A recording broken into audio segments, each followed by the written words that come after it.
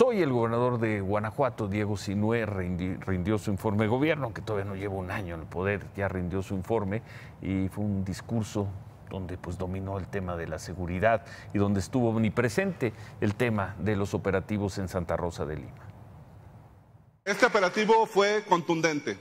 No se ha disparado una sola bala. No nos vamos a salir de ahí. El mensaje es muy claro y muy fuerte para los delincuentes. Aquí en Guanajuato no nos van a tomar la medida. Aquí hay Estado de Derecho. Aquí se va a respetar la ley. Y que les quede bien claro a los delincuentes, no les vamos a ceder un centímetro de territorio de Guanajuato. Entre los asistentes a este informe del gobernador de Guanajuato estuvo el presidente municipal de Villagrán, donde está Santa Rosa de Lima, el señor Juan Lara. Estuvo unos minutos y luego se fue a toda prisa. Los reporteros se acercaron, trataron de hacerle algunas preguntas, pero el alcalde no quiso hablar. Solo dijo que hoy era el día del gobernador.